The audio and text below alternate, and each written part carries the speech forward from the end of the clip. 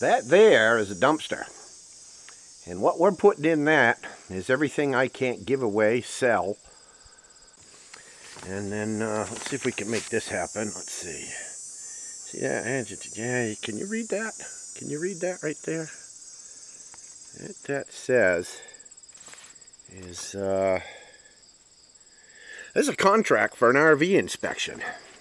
So uh, theoretically, tomorrow morning, Phil of uh, Phil's uh, Inspection Services Limited Incorporated is going to run over to uh, the owner's house. And uh, I will have spent $695 for him to spend six to eight hours there dicking with it and an additional $125 for an oil and uh, radiator fluid analysis. And uh, right now I'm just walking down the hill to get to the mailbox. Yep, yep, yep.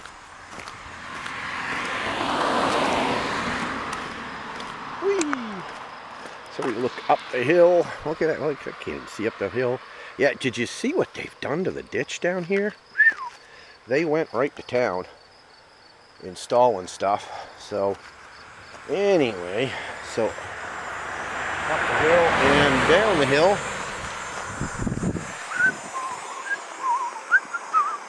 Oop, fresh tire tracks. So there must be mail. Yay, there's mail. It's probably just junk mail. Uh, phone bill and bank statement and junk mail. So uh, that's looking straight across and then we can look up the hill to the house. Quite a steep driveway. But uh, yeah, the Department of Transportation came by and fixed up this in a big way. They put a lot of effort into uh, fixing up the ditch because so much water comes down this hill that, uh, yeah, it was just washing things out. Anyway, so that's the camera level right there. So yeah, it's about 50 feet from the road up to my driveway, up to the top of the hill at least. At least. It's funny, I think the guy who had this before me was going to carve something into that maybe. I don't know. It looks like something that that's what you would do. So I patched the driveway the other week, put some fresh tar down in a couple of holes. I asked the local contractor to give me a quote on sealing this driveway, but he hasn't gotten back to me yet. But then again, maybe, maybe he, uh, take a look around. Maybe he's, uh, you know, got busy. You never know.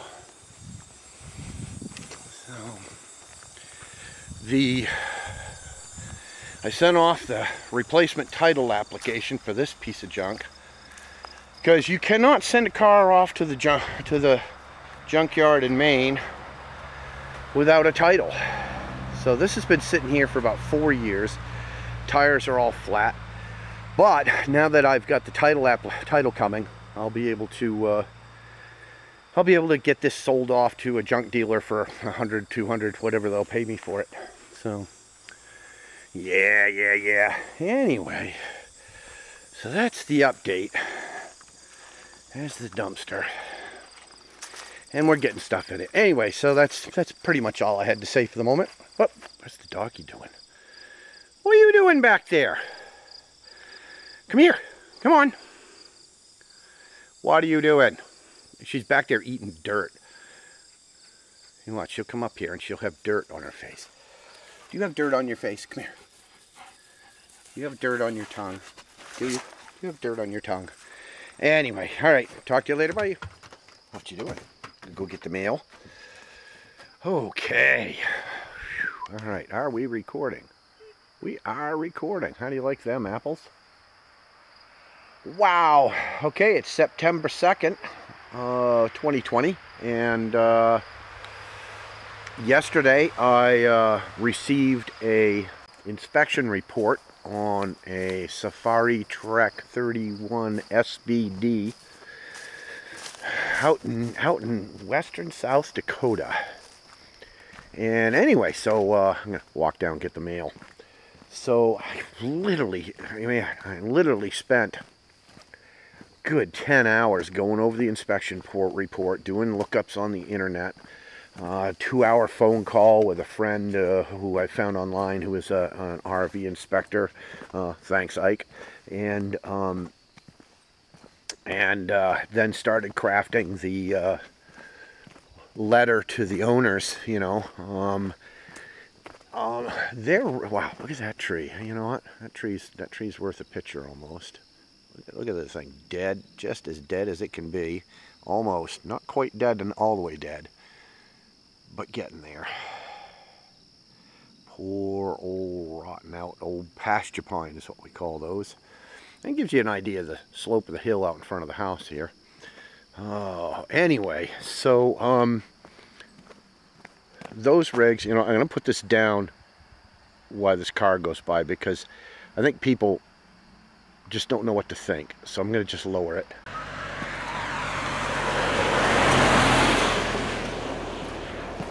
Across the street, it's funny, he, he waved right at me and I, I really don't know who the hell that was.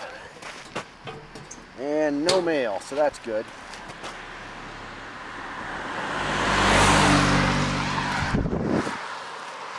Up the hill. This is a uh, just had a nice little rain shower. Um,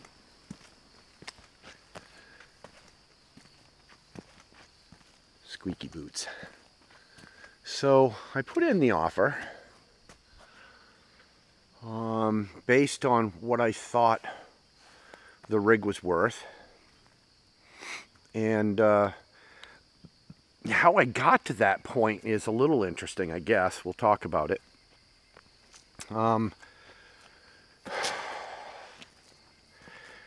based on what I've seen out on the market, if that, the RV I'm looking at, was in good shape, and I think I think maybe I'll also toss some pictures in here when I go to edit this, whenever I edit it. so I think that uh, if the rig was in good shape, it would get about $34,000 on the market. Um, getting there on the front of the house. Got to get the clapboards on. Hopefully that happens in the next week. And the Quonset hut back there is got to get straightened out. Mow the lawn. Title on this thing is on its way. Ordered that from the state, so I'll have that soon. So, see, let's just sit right here. So, yeah, so so the rig should be worth 34,000 if it was in good shape. But it's it's not really in good shape. It's in fair shape. Some of the stuff on it is in pretty good shape. And uh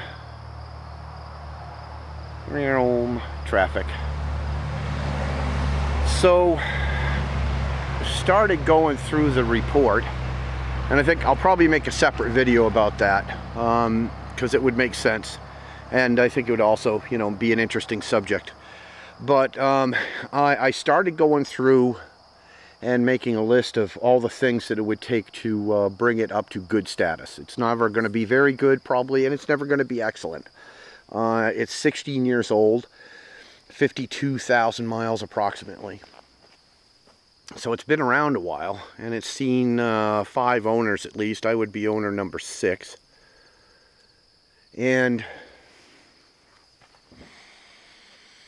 um, there's damage in the back bumper that was going to take some fiberglass work and that fiberglass work is going to cost at least 3500 bucks plus it's going to have to uh, require uh, replacing a cargo door and finding that uh, you know, because crapshoot. You might find it right off the bat, or it might be something you never find. Um, and uh, also, there's a lot of deadwood in here that I hadn't noticed. Um, the furnace isn't working properly. Uh, the hot water heater doesn't run on electric and there's evidence of a burnout event back there that the uh, wires overheated and burned up. So uh, there's a, a, a, fog light bulb missing. The roof needs to be redone. Um, window seals on the passenger side uh, uh, windows need some help. Um, yeah, lots of uh, lots of little issues need addressing, and uh,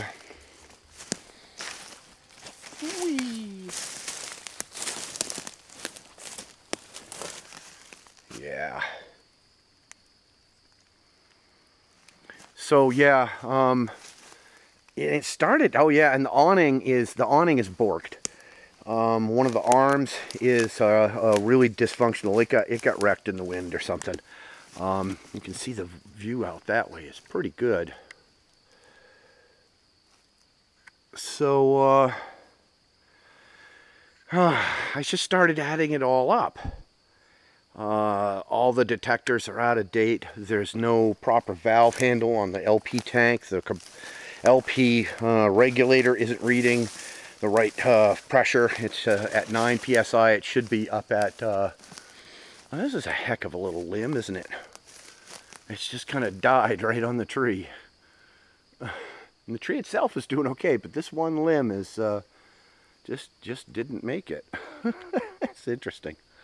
Um, so, and uh, the steps, uh, the steps, the automatic steps that come in and out are uh, bent from uh, some kind of trauma.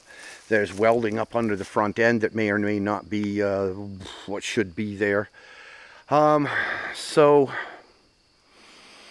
yeah, it's, uh, it was difficult. So I came up with at least $10,000 worth of work that would need to be done in order to bring the rig where it should be at good status, where everything is functional and operational and, and does what it's supposed to do. And um, on that basis, uh, I, I put in an offer of uh, 24000 uh, they had an, an, original asking price in the range of 32000 and uh, they lowered that to um, 28000 um, but it is what it is the uh, the rig is uh, not that it's old but it just hasn't been really well maintained um, and it just shows there's a lot of wear and tear that just shouldn't be there. So, uh, anywho, so the letter I put together is just goes on and on and on. Uh, there's like a list of 20, 25 different items that are start off bullet pointed of, well, this doesn't work and will need to be fixed. This is does work, you know. In the case of the uh, in the case of the awning, some plastic off in the woods. In the case of the awning, you can't get parts for it. So there's no way to there's no way to repair it. It has to be replaced. Well, if it has to be replaced, man, um, it ain't gonna be cheap. Uh, but you know, I gave them only 1500 on it instead of maybe the 25 to 3500 it probably will take to replace it. So, um, big long, big, big long letter. And then I sent it to them in an email. They were nice enough to tell me that they are out in uh, the Badlands this afternoon with other family visiting, so they probably don't even have it yet. Um, look, it's a well protected by an old tire. So, yeah, we'll see. Let's see. Maybe they come back with a counteroffer. Maybe they look at my, uh,